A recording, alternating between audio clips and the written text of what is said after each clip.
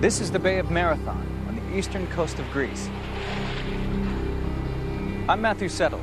Over 2,000 years ago, in September 490 BC, 600 ships lay the entire length of the shoreline, while an army of 30,000 Persian invaders raced up the beach. Sua missão: capturar Atenas e conquistar a Grécia para o império de Dario, o rei da Pérsia.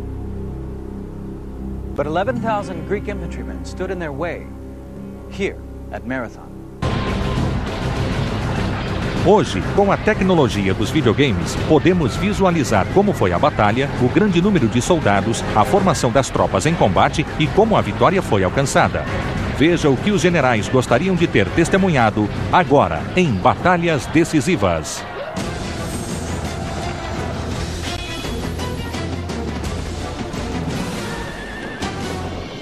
Batalhas Decisivas.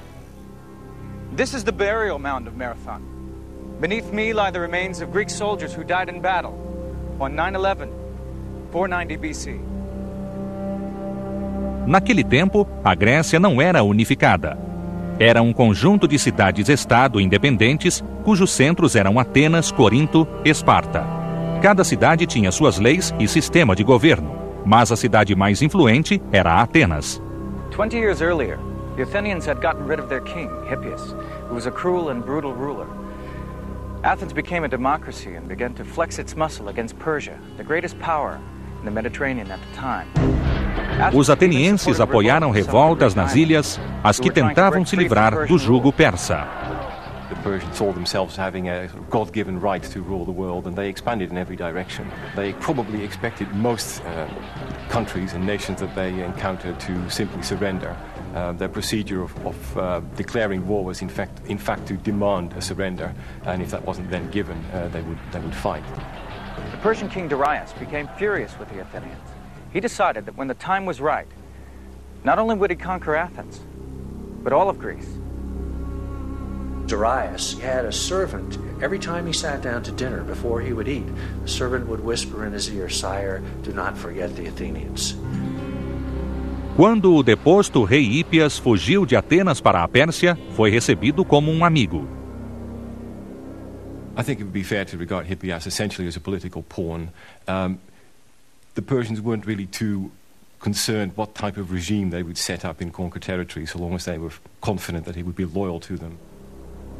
Em 491 a.C., Dario envia emissários a Atenas e Esparta, exigindo terras e água em reconhecimento do poder da Pérsia. Os gregos atiraram os emissários por um precipício e Esparta atirou os outros dois em um poço. the Greeks most hated was the idea of slavery, of not being free, and they were determined not to allow themselves to be taken over by a foreign power without a fight. Dario ficou furioso. Reuniu uma frota de 600 navios e mobilizou seu exército. Ao partir para a Grécia, o rei exilado Hípias foi com ele. A força de invasão de 30 mil homens era comandada por Dates, o comandante das forças do Oeste. Hípias informou que o local ideal para o desembarque era a vasta praia de Maratona. Persians had very consciously picked a place that suited the kinds of forces that they had. Basically, within the territory of Athens, they couldn't have found pretty much a better place for them to land. This is the plain of Marathon, six miles long and two miles broad.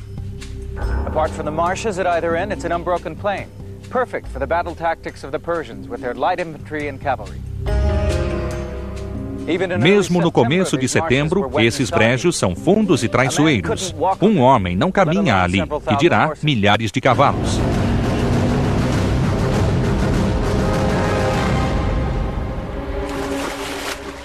Hippias did not have a happy homecoming. As he jumped ashore, he had a coughing fit and spat out a tooth. When he looked for it in the sand, he couldn't find it. And he took this as a sign from the gods that he would not regain his kingdom.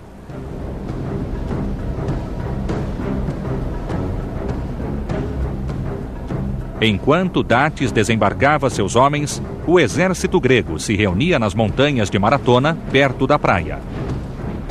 O exército de Atenas era composto de várias tribos locais. eram mil homens de onze tribos diferentes, cada uma com seu próprio general, todos comandados por um general grego, Miltíades. Missing from these 11,000 men were the fiercest and most feared Greek fighting force, the Spartans. Miltíades enviou Feidípedes a Esparta para pedir ajuda. Greeks generally used runners uh, as messengers, sometimes horsemen, but very often runners, partly perhaps the, due to the rough uh, terrain that they often had to negotiate. Feidípedes era um corredor. Ele podia correr o dia todo levando mensagens. De acordo com o historiador Heródoto, ele correu 240 quilômetros entre Esparta e Atenas em dois dias. Mas sua corrida épica foi em vão. Os espartanos estavam celebrando um feriado religioso e se recusaram a marchar até depois da lua cheia. The Spartans were notoriously pious, notoriously slow, notoriously tardy, and, I, and, and arrogant in a way. And I think they felt, oh, we'll just get over there when we get there. Atenas estaria só. A situação de Miltíades não era boa.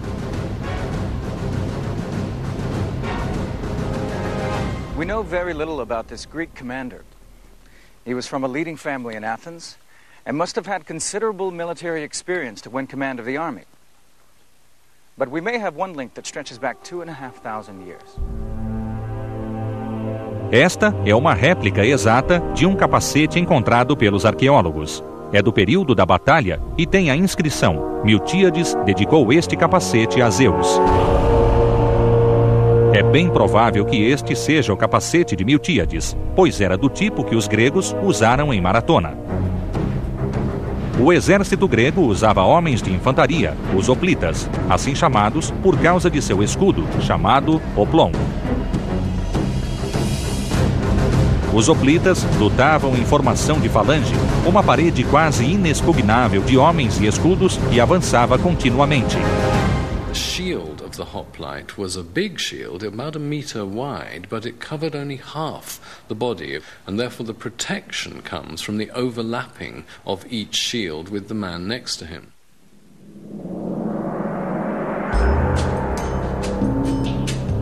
Das montanhas, ao longe de Maratona, Miltíades e seus dez generais tinham uma visão clara da organização do exército persa. Era um exército duas vezes maior que o grego. Com arqueiros da Etiópia, espadachins indianos, cavaleiros das estepes da Ásia. Apesar de todos serem súditos do rei Dario da Pérsia, não tinham nada em comum, nem mesmo uma língua. Por outro lado, os gregos eram vizinhos e lutariam ombro a ombro para salvar sua independência e seu estilo de vida. Memories of the tyrant Hippias were fresh in their minds, and death was preferable to him regaining the Athenian crown. But neither side seemed eager for a fight. Por quatro dias, os exércitos ficaram de frente em espera nervosa. One reason why the Greeks waited is simply that uh, they were in a very strong position there. They could not, as such, be forced. And the Persians, being so much larger, had a supply problem, and therefore it was quite likely that supplies would run low and that they might even consider retiring. Dates não atacou porque esperava que os atenienses, ainda fiéis a Hípias, se levantassem e tomassem o controle de Atenas. Do lado grego, Miltíades não atacou porque esperava receber o reforço do prometido contingente de Esparta. Nenhum dos lados se mexeu. But in the Persian camp, Datis was hatching a daring battle plan that would break the deadlock. Soon the killing and fighting would begin. Four days of stalemate. The Persian commander Datis decided to gamble everything on a quick victory.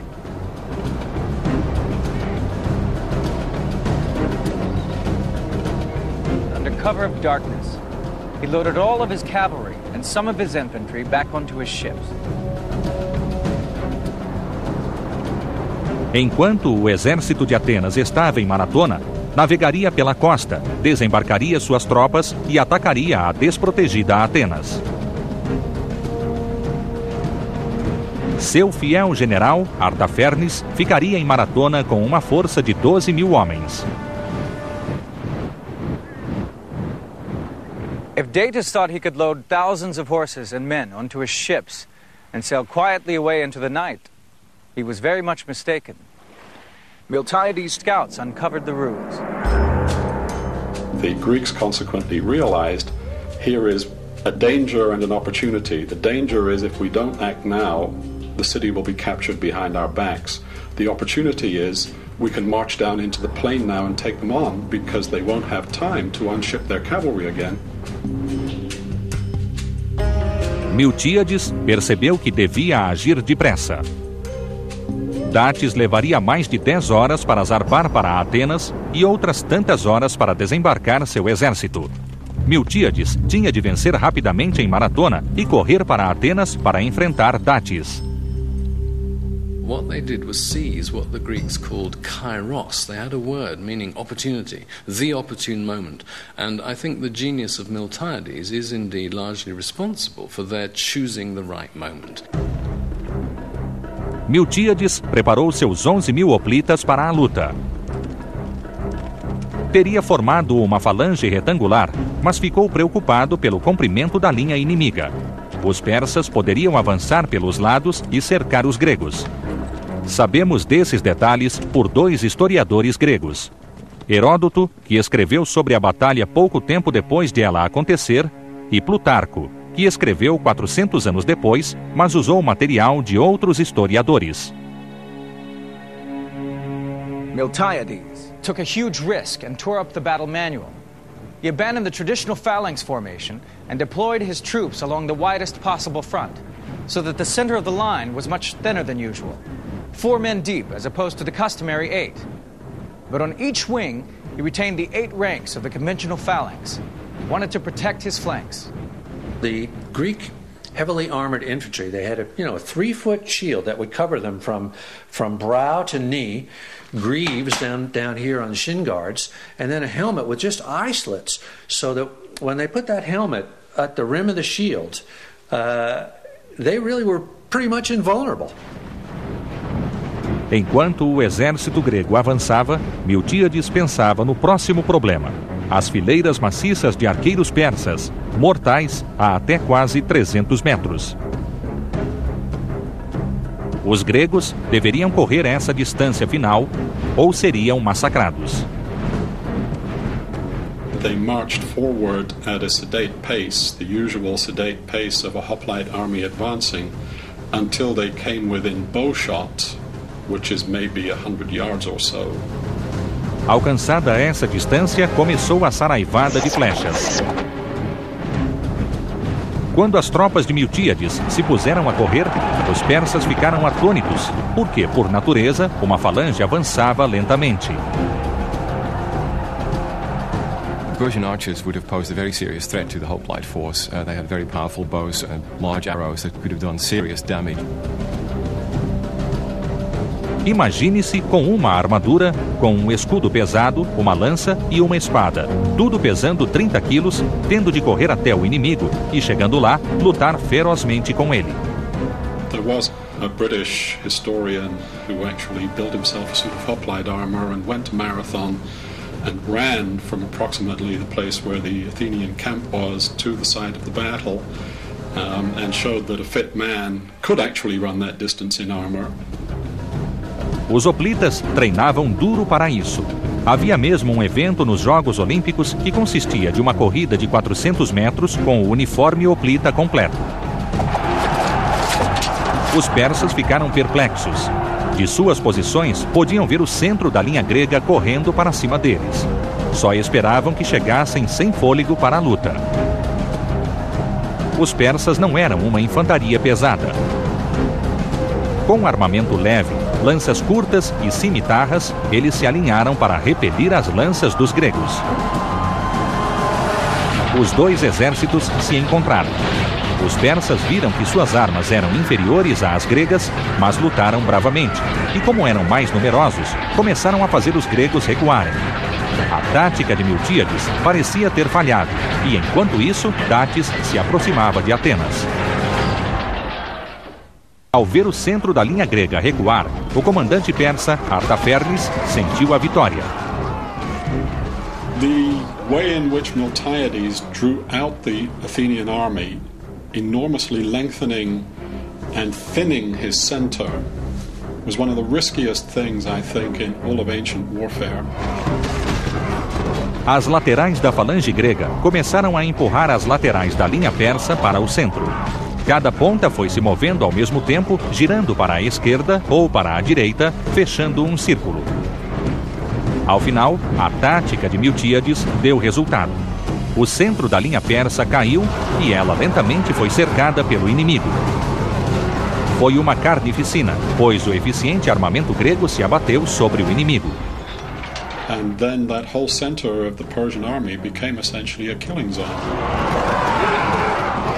Certainly, to fight that way took uh, uh, great strength and great endurance, and you haven't even talked about the heat of the, of the summer. Os persas continuaram a se atirar sobre a falange inimiga, procurando desesperadamente quebrá-la.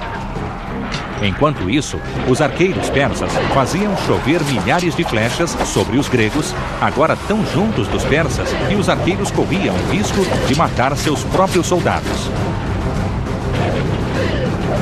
Os gregos perceberam isso e lutaram como homens possessos.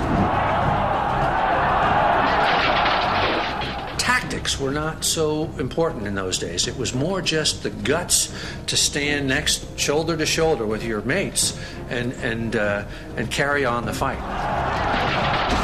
Os persas estavam batidos. Nunca haviam sido vencidos pelos gregos, mas agora milhares de seus soldados estavam mortos ou morrendo.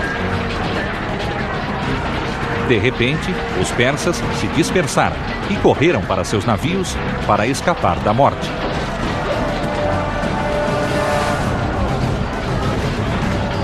Os gregos tentaram impedir sua fuga e os perseguiram até a orla marítima. There was chaos on the beach, the stampeding troops pushing and heaving to get their craft away, while trying to defend themselves from the pursuing hoplites. The surviving Persians sailed away, while the Greeks collapsed, exhausted in the sand.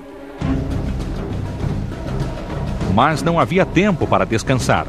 Enquanto a batalha acontecia em Maratona, Dates e suas tropas estavam perto de Atenas. Miltíades ordenou que suas tropas marchassem para Atenas, uma marcha forçada de 35 quilômetros com uniforme completo.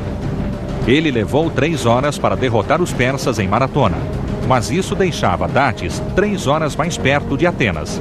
Era uma corrida contra o tempo. He sent a runner on ahead with news of victory. According to legend, it was Phidippides, the same man who had run to Sparta. He ran the 22 miles here to Athens and shouted, Rejoice! We have victory. Then fell dead from exhaustion. Miltiades arrived in the nick of time and managed to set his troops up around Athens. Datis was dismayed when he sailed around the bay and found the Greek army waiting for him. When they saw those Athenians waiting for them, they just didn't have the heart to have another go at these guys who had just inflicted this disastrous defeat on them. Dates nem desembarcou. Ele achava que essas tropas tivessem sido derrotadas em Maratona, mas elas estavam aqui para lutar de novo. Acknowledging defeat, he turned his ships around and set course for Persia. Hippias had guessed right. Not only had he lost his tooth, but any chance of ever regaining his kingdom. E os espartanos chegaram atrasados e perderam uma chance de glória, mas estavam curiosos para ver como era um guerreiro persa. Saíram de Atenas e foram ver os mortos. They say that the Spartans were sort of like sightseers, toured the battle afterwards, and that they were pretty shaken up to see what great work their rival Athenians had done. I think it really did eat at the Spartans' guts that these foppish Athenians had polished off the Persians. If the Persians had won the battle and had occupied Athens, they would then have had a, a basis in mainland Greece for further campaigns, and that might well have changed the course of history.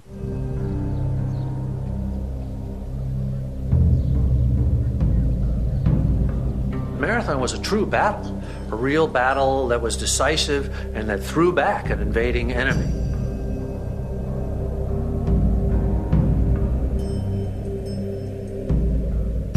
The fame of Marathon is, in my view, imperishable. It was an extraordinary victory. But for Marathon, you wouldn't then have had the ensuing civilization of the Greeks. Os persas perderam 6.500 homens e os gregos 192. This was a great victory for Greece, but an even greater victory for Athens. In the space of 20 years, its citizens had got rid of their king and pushed back the Persian Empire. In the process, they had created a new form of government. They called it democratia. We call it democracy. And Phidippides, his run is remembered at every Olympics and each year in cities around the world when ordinary people run the marathon.